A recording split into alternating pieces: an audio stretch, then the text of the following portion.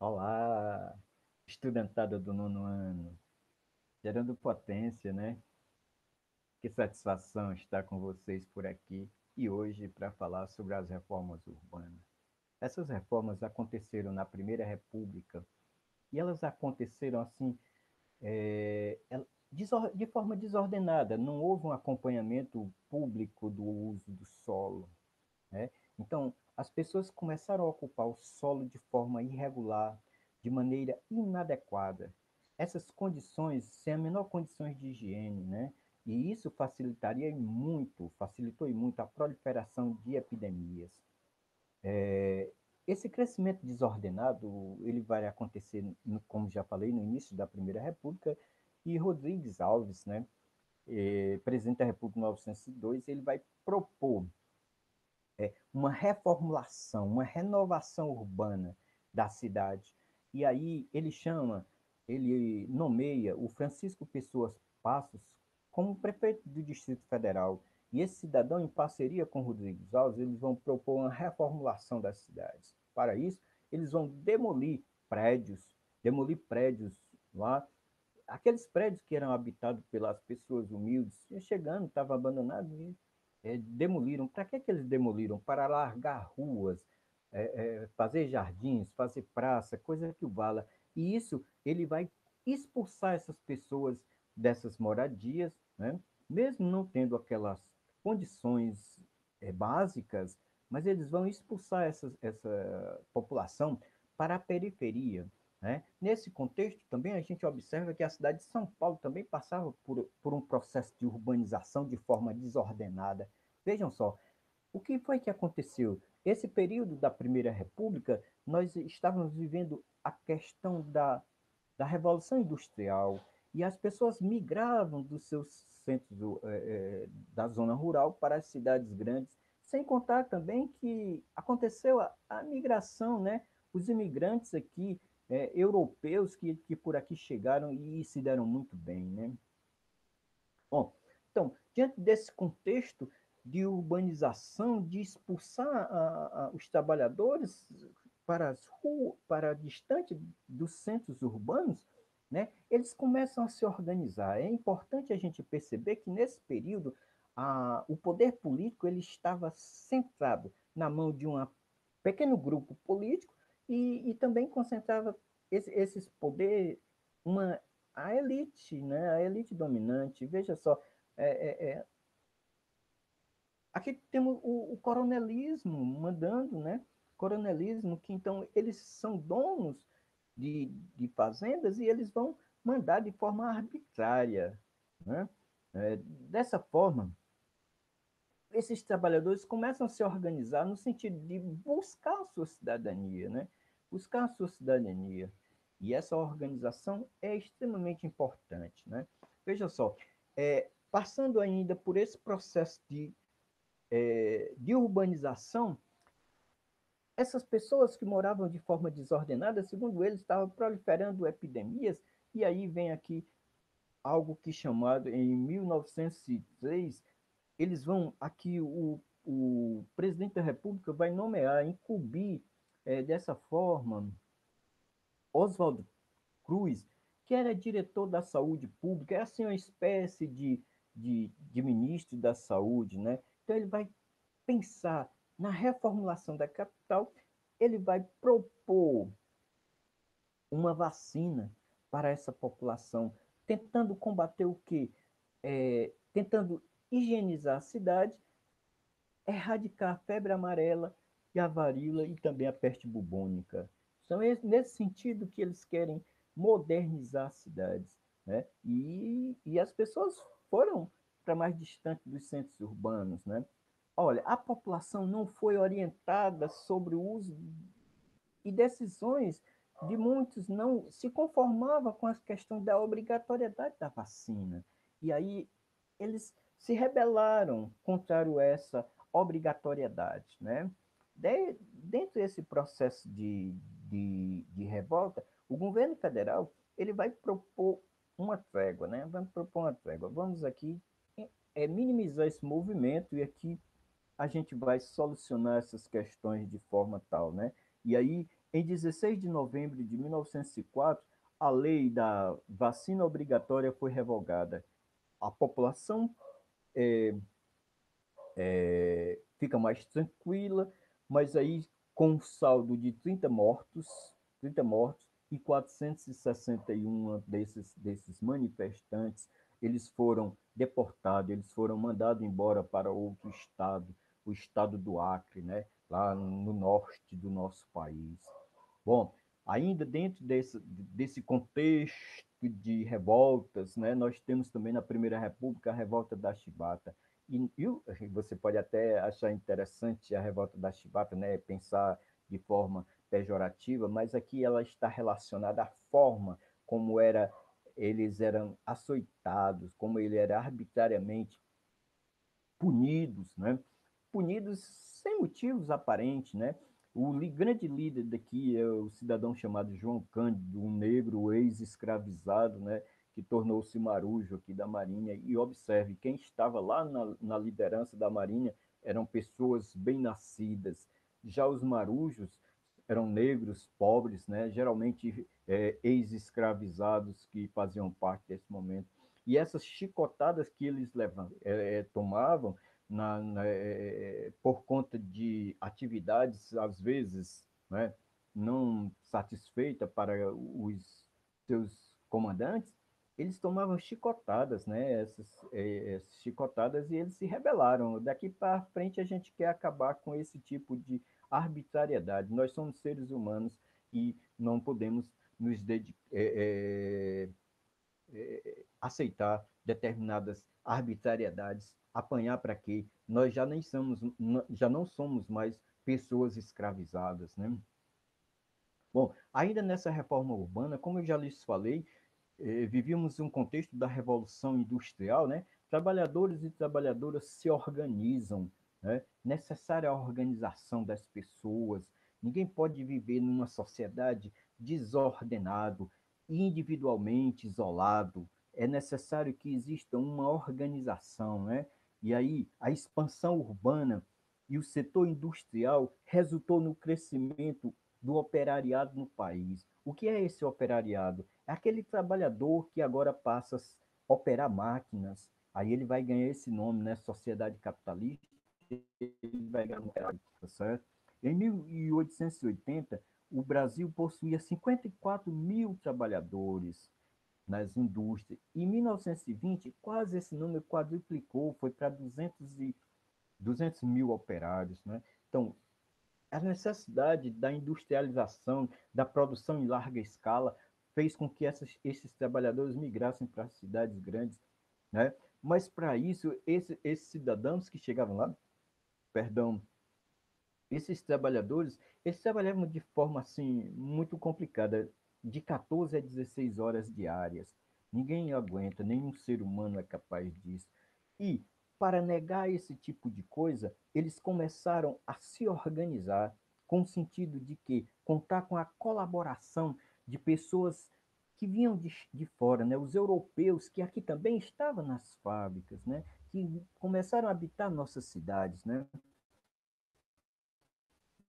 É importante perceber que nesse período da industrialização do país, crianças e mulheres também trabalhavam, né? É sim, as crianças trabalhavam sim, as mulheres mais na fábrica, as crianças e mulheres na, na, na, na no setor têxtil, mas elas produziam também por um período longo e era a exploração do trabalho infantil, como, como ainda hoje né, existe por aí. Né? Ó, eles começaram a se organizar no sentido de reivindicar melhores salários, né?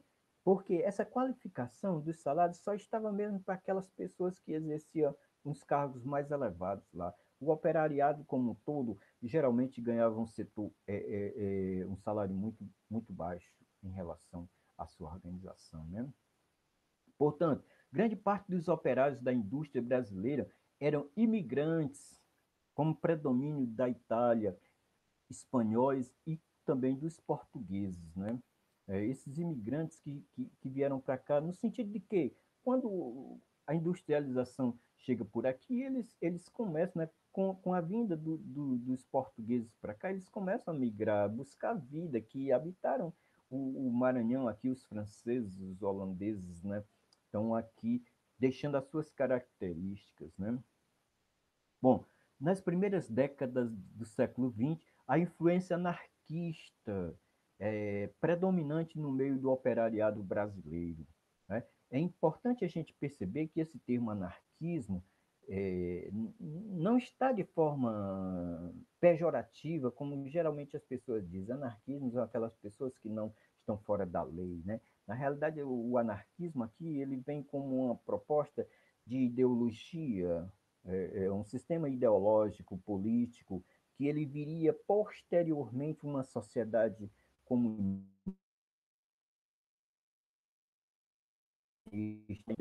comunismo, muito embora tivemos algumas experiências, algumas positivas, outras não tantas, sobre a questão das sociedades socialistas, mas o comunismo em si não aconteceu é, na sociedade humana, né? Então, a organização sindical foi extremamente necessária e ela contou com, com a ajuda euro, europeus que tinham conhecimento, né? eram pessoas que liam, tinham conhecimento se organizado de forma tal para quê? Pra me, buscando melhoria de trabalho. Né?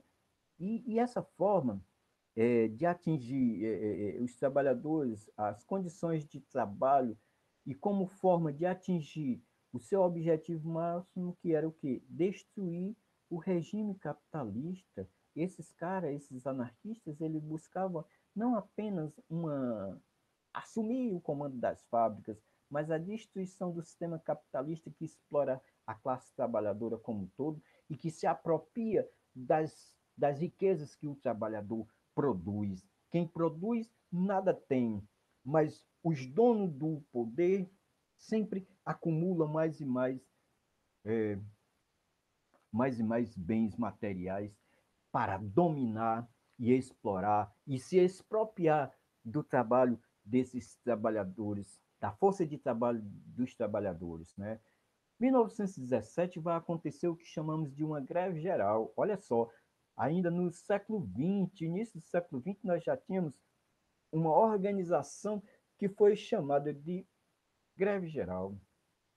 Os métodos de luta dos anarquistas eram o boicote, a sabotagem é, e, sobretudo, a greve como uma estratégia fundamental para conquistar os seus direitos. Ora, você diz, mas sabotagem? Ora, espera só um pouquinho, boicotar a grande elite sempre boicota a nossa busca de direitos. Eles nunca nos dão possibilidade de ir além. Né? Então, esses trabalhadores, na sua forma de se organizar, eles vão formarem aqui, vão formar um comitê de defesa do proletário. Né? Dentre os militantes que, que defendiam, que estavam nessa organização, nesse comitê, nós tínhamos aqui duas mulheres, né? E, e veja só, pessoas femininas naquela época já participavam dessas organizações. Que coisa boa, né? Então, é, é a Rosa Musitano, como também a Maria Angelina, que estava na Liga Operária da Moca. Moca é um, um, um bairro né, habitado por europeus lá em São Paulo. Com a ajuda de uma comissão de imprensa e um acordo, é, e um acordo foi assinado entre os grevistas e os empresários. Né? Essa, a, a comissão de imprensa ele vai facilitar o diálogo entre a classe operariada e a classe trabalhadora. Obviamente, eles não tiveram o que eles desejavam, né? Tiveram aumentos sobre alguns percentuais, mas aí é importante a gente perceber que muitas dessas pessoas né, foram sacrificadas. Vejam, ninguém ganha nada, ninguém dá nada de graça. Essas pessoas trabalhavam 16 horas por dia, de 14 a 16 horas por dia, se organizaram de forma tal que hoje os trabalhadores têm direito a trabalhar 8 horas por dia, 44 horas, 48 horas por semana, 44, 48 horas por semana. Direito de direito de um dia de folga remunerado. Foi tudo luta da classe trabalhadora. Nenhum patrão e o Estado é capaz de liberar esse desejo de satisfazer a classe trabalhadora. Ainda nesse contexto, nós tivemos algo extremamente importante que foi o modernismo, né?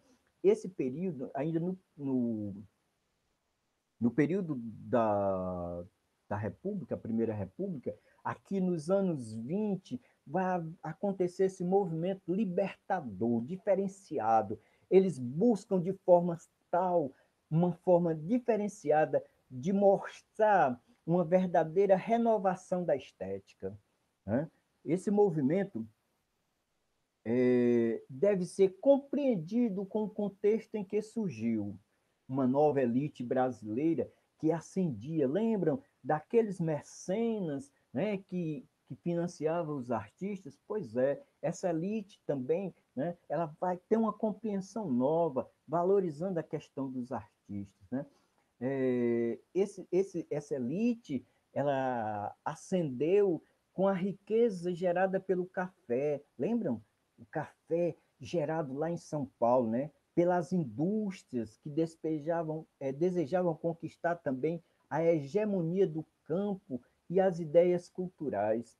Né? E, hegemonia, eles pensavam em comandar todo o campo das ideias culturais desse, desse povo, né? opondo-se às antiga, à antiga elite do país que valorizavam exclusivamente a cultura operária tradicional. Nova elite passou a estimular os artistas modernistas. E aí vem então algo extremamente revolucionário que é chamado de a Semana da Arte Moderna de 1922.